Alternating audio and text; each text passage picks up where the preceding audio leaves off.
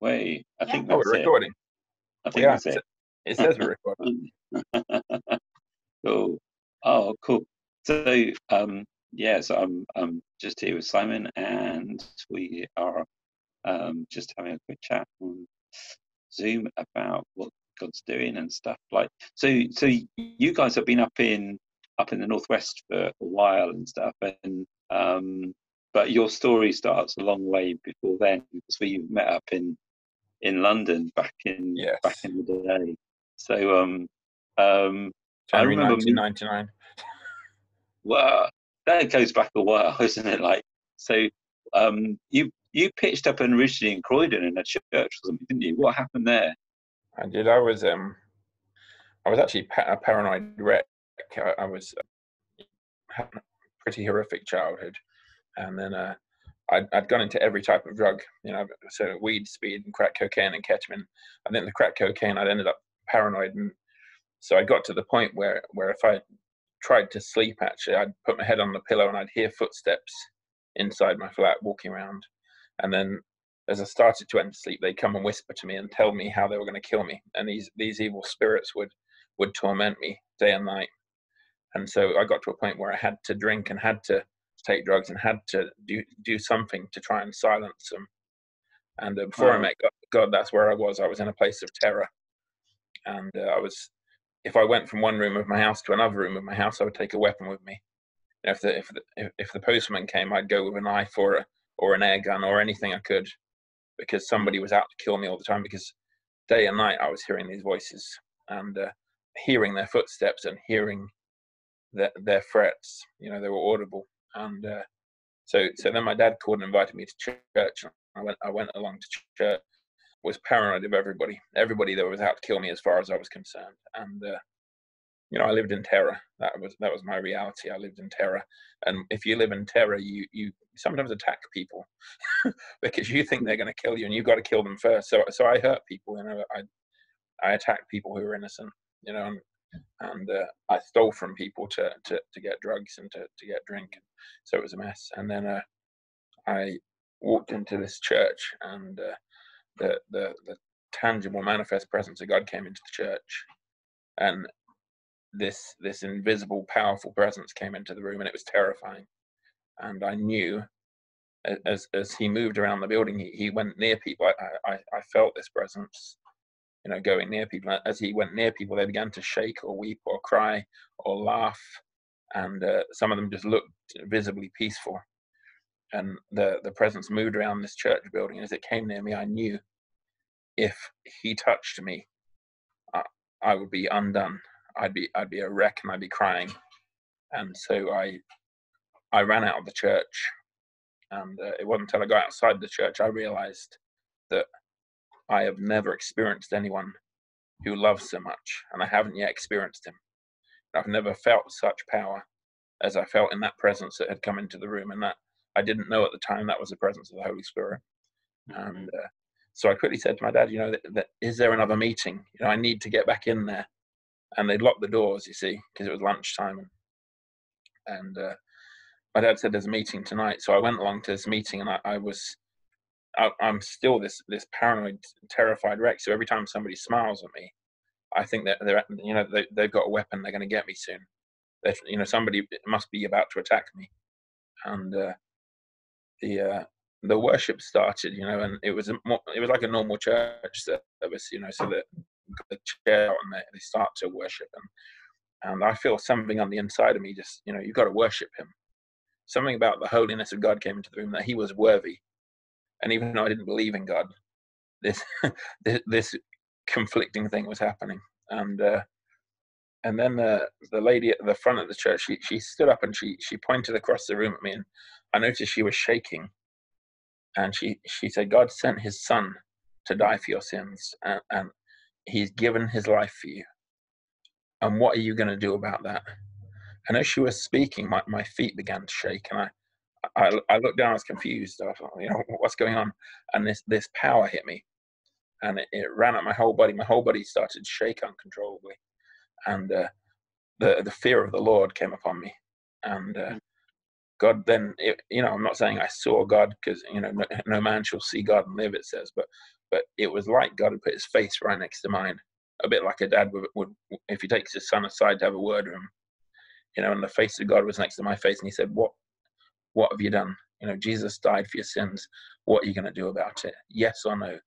Choose me now, or choose death." And uh, I said yes, and suddenly the love of God hit me in the chest like a grenade. and uh, my body was thrown through three rows of chairs, and I landed on the floor, just overwhelmed by the love of God. Now the the the kind of the kind of fruit in this is I I went back to my flat. Now I said I was paranoid, but my front door had two huge bolts on the door, and I had an alarm on the door, and I had chains on the door, and it was like getting in and out of Fort Knox every time I walked into my house. So as I got to my house, you know, full of the presence of God and, and a changed man, you know, just Jesus is real, God is real. It's a completely different world has opened up to me.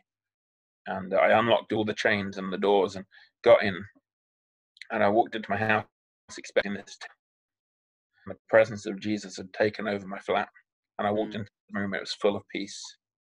And, you know, the, the word says when, when you sleep, you know, great will be your peace you know, because he, he who watches over you neither slumbers nor sleeps. And I slept for the first time in years, you know, peacefully, and and the enemy had been chased out of my life, and uh, he he he began from that day to completely change everything. I mean, radically change the way I see the world, and you know.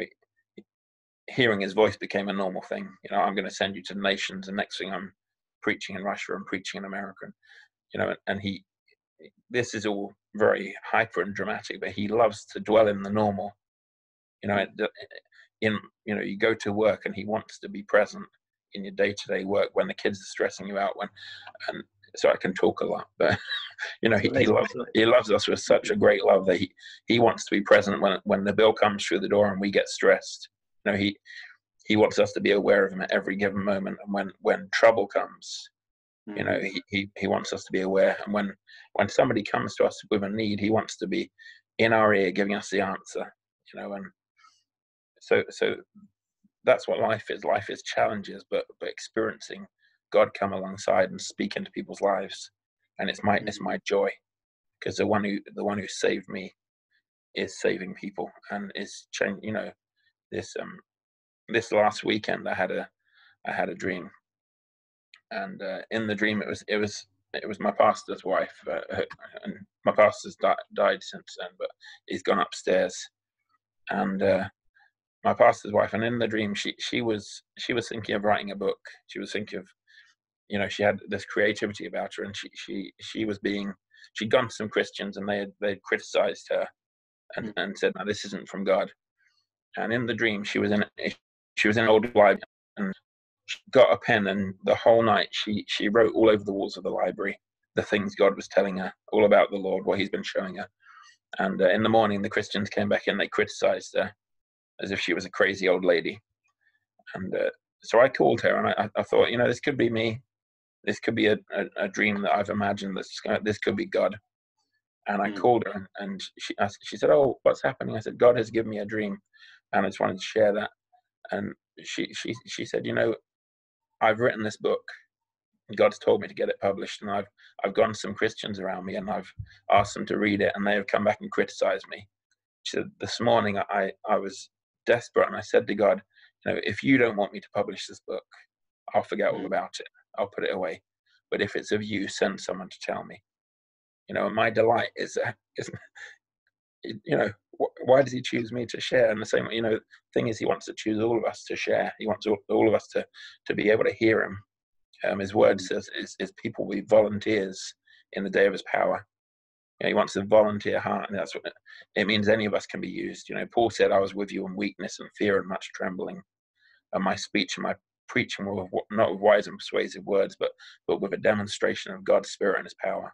So he wants our weakness. You know he wants us weak people so he can he can splash his love over the world and over the lost and over the broken and over the needy so you mm-hmm. got me talking mm.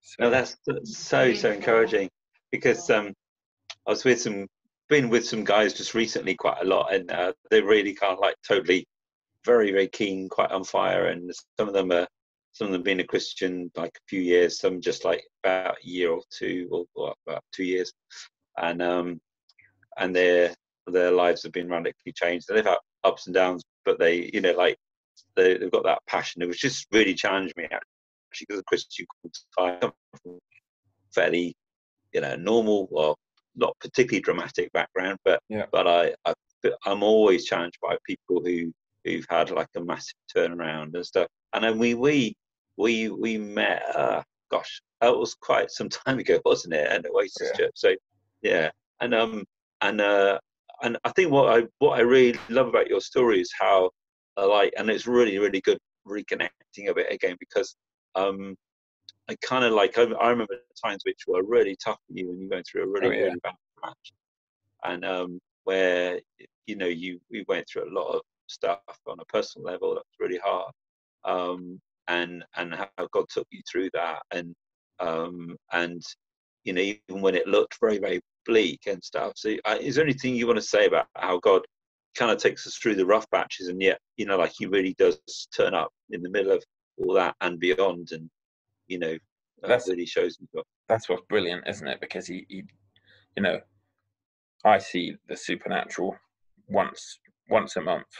You know something that you know i'm aware of god's presence but something that shows me he, he's in it for the people around me. You know he he has a heart for those who are, who are around us so you know you can you can misunderstand and think there's these spiritual giants walking around. There isn't there you know even paul was really clear you know he, he was with with with them in weakness and fear. You know he he he was a, a broken man. You know in asia he despaired even of life. You know you know such such a burden in asia that he he was depressed you know and uh, that's a, that's a brilliant thing that he could be. I mean you're talking about you know when my kidneys failed and i was i was in the I was in the peak of ministry, if you like. I was traveling around the world and I was I was praying for the sick and seeing them healed, and it was all so dramatic. You know, such such a lot of I guess dynamic ministry where we see God impact people, and uh, it's good. and uh, you know, then I then I, was I, I, had a month of meetings planned, and, and my my kidneys failed, and I got to the you know I, I was so sick that I couldn't hold down any food. You know, I was getting cramps all over my body. I was I was sweating profusely. I was just constant nausea, and uh, even so, even so, I was going to preach at, at churches, you know, like that. Even we saw miracles. Mm. you know, while I was sick, we prayed for the sick and saw them healed. You know, so it was a strange dynamic, you know. And uh, then when my when my, my kidneys failed, really, I, I I'd gone for a blood test and I got a I got home to try and eat some dinner and I got a phone call from from the hospital saying, basically, come in now, you're dying. And uh, this is, you know, the way God works is just fantastic because He's got people everywhere. Mm. So, so I went to the hospital and they, they, the doctor looked at me and looked at my blood results and said, "I'm, I'm surprised you're even standing in front of me. You know, mm. your kidneys have failed. You, I'm not sure if you'll last the night. You know, your your blood levels are so bad. We don't think you're going to survive this." So me and my, my wife were crying and uh, took me down to A and E and and put me on a drip and then moved me into a side room and uh, they said said oh we're going to transfer you to a specialist hospital and we want you to stay in this side room and you know we're going to keep you on a drip and keep an eye on you. And this this negativity this depression this fear came over me because my life is at an end. You know I was I was 20 23 years old and uh, we were we were just married. You know, me and my wife had just married. It was our first anniversary. You know, the mm. the day after, basically. So, uh, you know, when when trouble strikes, it doesn't always strike when we're feeling strong. When we're and uh, it can be a chat. So so anyway, I'm sat there and I'm kind of you know, God, where are you in this? And this thing that this African nurse came in, and she looked at me and she said, she said, "Son, this is the word of the Lord for you." You shall not die but live and declare the word of the lord wow, wow. you know and god has people everywhere and you know like I'm, I'm speaking earlier that god wants to volunteer hearts who are ready to speak his word for him he's not mm. looking for you know there, there was recently during the covid thing there was a there was a story about a cleaner you know who who had access to a guy who had covid and the, the mm. cleaner got in and was able to pray for him and see him healed Mm. you know, God, God wants a volunteer heart. He doesn't look. He doesn't see position. He doesn't see stature. He doesn't. You know, he doesn't actually want mighty men of God. I've got some some friends, and their culture is always to call call me man of God, but no, he he's he calls children of God. You know, as many as believe in His name, to them gives He the right to become children of God. Isn't that a brilliant, you know, such a blessing that we mm. can uh, we can. So so anyway, so this then I, I was transferred to the other hospital and plugged into a dialysis machine. And I spent the next probably three and a half years um, going to dialysis every week, you know, and three times a week plugged into a machine. And uh, you know, at, at the beginning, my my faith was courageous. I, I, the doctors would come along and they'd say, you know, this is your reality until you have a transplant. I'd say, I'm not having a transplant. God will heal me. You know, He's faithful and He'll look after me. And it it was really a time to challenge my faith because I was always busy. You know, I was always trying and always serving the Lord. Mm. And uh, it's brilliant because I wonder where the bit of the word is. Um, it, I, I took this bit from the word and it says that if the spirit of him who raised Jesus from the dead lives in you, then he will also give you life to your mortal body, your your now flesh body, through the spirit who lives in you. And I, I constantly pondered this, you know, actually he's promised he will give life to my now body. You know, and the actions that coming and telling me off, you know, this is this is because of your sin. This is because it's a judgment from God. This is because you have fallen short. This is you know you're not fasting enough. You're not praying enough. You're not drinking enough. You you drink the wrong herbal tea. You know, anything you can imagine. They, they literally came up. You know, I've heard this. There's this magic tea out there clears kidney failure. You know, drink plenty of it. Um, you know, and, uh, so it was a challenging time. And uh, you actually were you came along to me for a cup of tea at one point a couple of times, and uh, you did what Jesus would do sometimes. Sometimes he doesn't want us to be spiritual. Sometimes he wants us to, to be there and just listen and just drink a cup of tea with somebody, just be normal.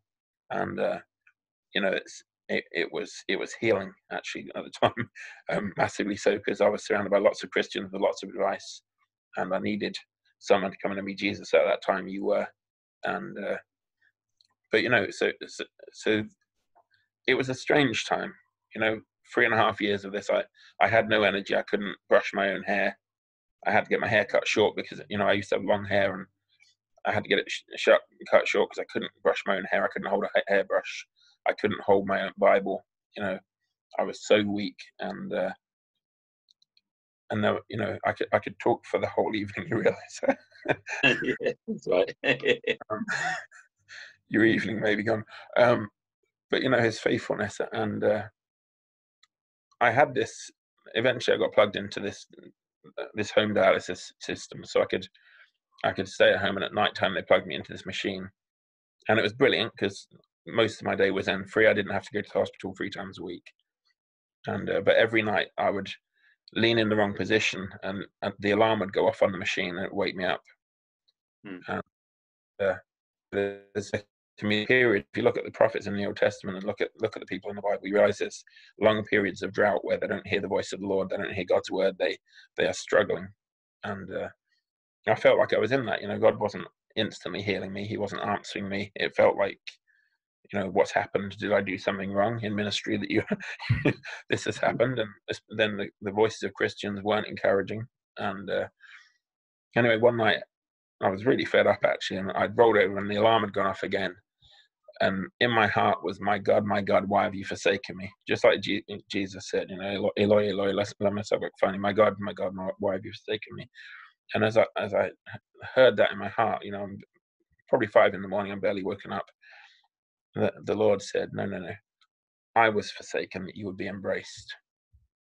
You know, mm. my son, he was forsaken that you would be embraced, and for you, it's not my God, my God, why have you forsaken me? But my God, my God, how you've embraced me and uh, the, the, embrace of God came upon me, and uh, the, the the overflowing love of God came upon me, and uh, I was broken actually because I, I I couldn't do anything to serve the Lord. I had nothing left, and yet He was pouring His love on me, and it's you know something He wants eh, that I I'm, I'm in the church now on leadership, and the people are busy.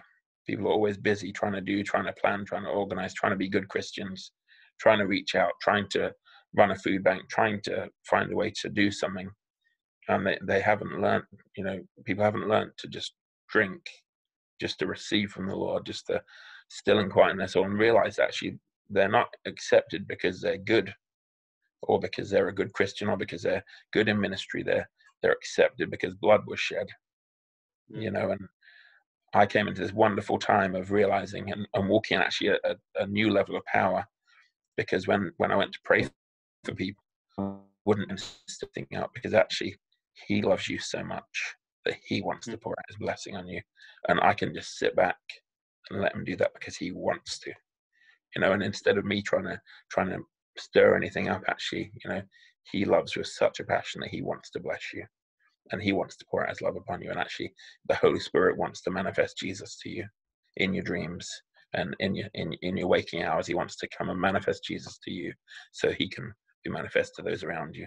So um so yeah, it was a challenging time, and it ended up I, you know, for three years I had I'd refused to go on a transplant waiting list um, because I wanted a miracle, and and uh, but it got to the point where my wife was struggling. I was getting sick so often, um, and I was sometimes so close to death that you know it, it was having a having a you know, it was burdening my wife, and she she was in, I I found her in tears one time, and I said, you know, I'm going to go and get on that transplant list and just I'm going to give it to God. And if they call me and offer me a transplant, if the Holy Spirit says no at that moment, I'll stay on dialysis and wait for the miracle.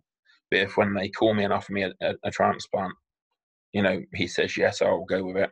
And uh, so I went on a transplant list. I was on it for six months, and and my wife had gone away on holiday for the first time in four, almost four years of caring for me, and mm. she'd finally gone off to have a break that she was, you know, well deserved break that, you know, and uh, I got the call and the Holy Spirit said, go for it. And uh, my, my transplant, my blood levels are, are, are, improving year by year. So instead of the levels going down over time, my, my kidney has more life and more function in it. It's never had any mm. rejection. It, it is blessed. so, uh, so uh, you know, so so it's um, yeah, so he's faithful in all of his ways. You know, he really is. He's absolutely faithful. Um, you know, he with us as Christians, as we we don't try him on that. We don't lean in to see his faithfulness. We we deal with our struggles on our own. You know, we we we try and resolve our own problems. You know, last uh, was it, I think it was last year, and uh, we were driving down a country road with the kids and having a lovely day. It was sun shining. It was Yorkshire, over these bumpy hills, and uh, the car died, and uh, really died. We, we, you know, our, we can have a human reaction, so we should be freaking out. The car's died. What we're going to do? And uh, but you know, instead, I just say, you know, God, you've got this. You know, sometimes we're not tuned in. But I was tuned in. I said, you know, God, you've got this. You've never let us down before. There's no reason to believe you're going to let us down in this. So we had a picnic with the kids while we waited for the breakdown company and uh, they got us home. And then the next morning at ten o'clock, we we got a phone call from the from the garage because they they had the car, and he said it's scrap. You need to get rid of it. Well, with four kids, that's not ideal, you know. And so me and Emma, we started talking about maybe if we cut down money here or we cut down money there, we could eventually in the next four months be able to afford a car.